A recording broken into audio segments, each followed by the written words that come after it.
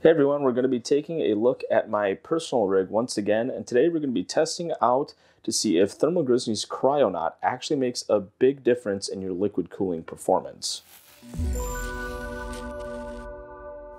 Now, I haven't uploaded this video yet, but I once again did a upgrade on my rig just to give you guys some insight onto what was going on with it before. Um, I don't know how long some of you guys have been around, but if you remember, I put out a video a while ago where I made an upgrade on my rig where I put in a 3070 upgrading from a 3060 Ti. And I also installed a 240 millimeter liquid cooler and that worked really well for me for a while. Then I did another upgrade on my system where I plopped in a 13700K into that existing rig. And when I did thermal performance tests on it, the 240 millimeter liquid cooler actually kept up really well. I shouldn't say really well, it kept up just well enough. It was sticking around 80 degrees Celsius when I had it under 100% load, which to me was okay. Um, it was passable, and I was doing a benchmark test where I would run Heaven and Cinebench at the same time, just to try to get the internal temperature of my case as high as possible to really properly test like how well it was genuinely being cooled. Then I put out another video where I slotted in a 7900 XTX into my build. Now that's when things started to get really hot inside the case and I didn't initially realize it just by slotting in the 7900 XTX because the 3070 is also a pretty warm GPU for the most part. But the 7900 XTX gets really, really hot. So one day I just decided to run Cinebench I can't remember what the reason was. I think somebody left a comment on a video talking about how my Cinebench score wasn't as high as it probably should be. I was like, maybe I lost the silicon lottery or maybe there were some other factors, so I wanted to run it again. And this time I turned on core temp because I wanted to see how warm the processor was getting, and it was almost immediately thermal throttling with the 240 millimeter liquid cooler. And I was like, that is really weird because I didn't really have a whole lot else going on. But then I checked the, like the ambient temperature inside my case and just even sitting and idling, the 7900 XTX is really warm. And rest assured, I don't have one of those models that has the overheating issues with the junction temp. I've done extremely strenuous tests and just checked the thermal temps on this 7900 XTX and it is perfectly fine. It only gets to like max 83 degrees Celsius on the junction temperature. So that's definitely wasn't the issue. It's just with a 13700K and a 700 XTX, it's just a warm rig now. And I was not getting enough airflow with the fans I had in there before. Um, if once again you remember in that video I had Corsair LL120s, which aren't like the most efficient fans out there, and I was kind of getting them for the RGB. So what I ended up doing was I put in these Be Quiet fans with a 360 millimeter Be Quiet liquid cooler and the temperature went down, but I used the stock thermal paste. So long story short, the inspiration for this video was I wanted to see if I could get the temperature down even more if I use the Kryonaut thermal paste rather than the stock thermal paste that came with this Be Quiet cooler. And this is one where I'm gonna do the, I'm gonna do like the dual benchmark where I'm gonna run Heaven and Cinebench at the same time just to really get those temperatures up and we'll see maybe where our thermal limit is with this build. I have two 140 millimeter, actually maybe I should just show you what's going on with it. So we have a one 20 millimeter exhaust fan, a 360 millimeter AIO up front, and then on top, if we can get a good shot of it here, we have two 140 millimeter fans. And all these are the Lightwing fans, uh, high PWM. So let's just see, you know, what kind of thermal results supposed to be get with, with that. So I got core temp going on already. Right now, it looks like we are living around the 30s.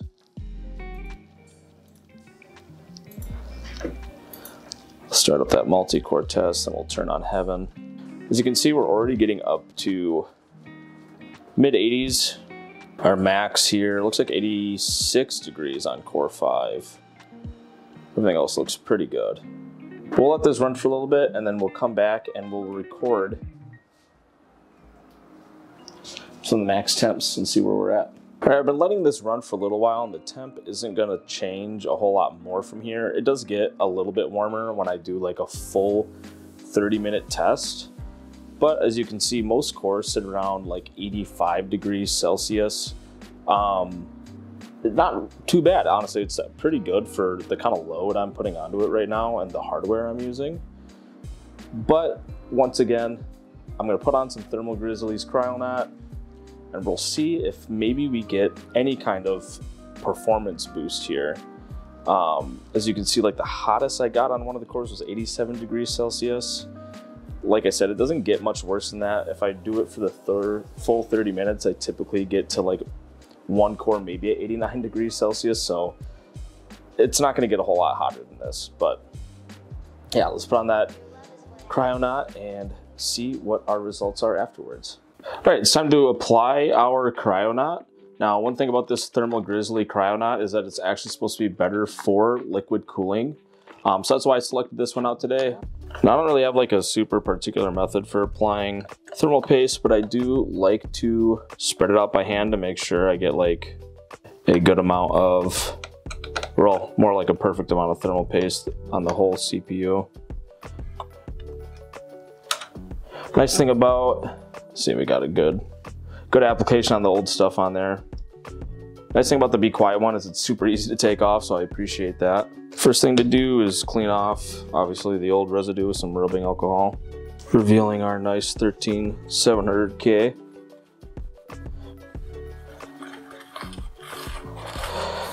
Should be good enough. And the same thing for the Be Quiet cooler. This one seems like it got a lot more of the paste stuck onto it, so it might be a bit more of a pain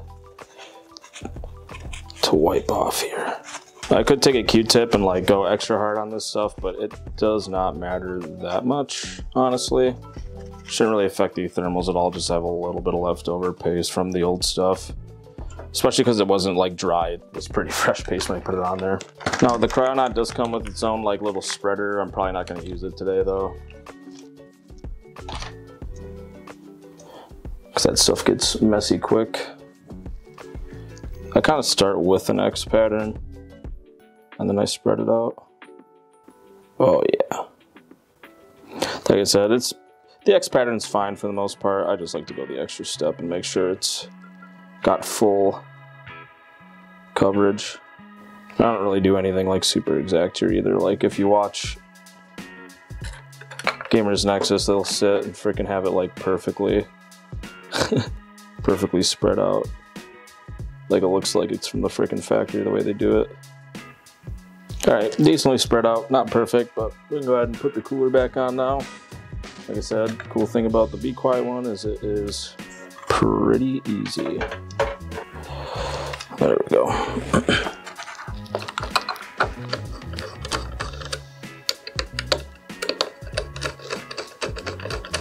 All right, very nice. Now let's test the thermals and see if we got any kind of improvement.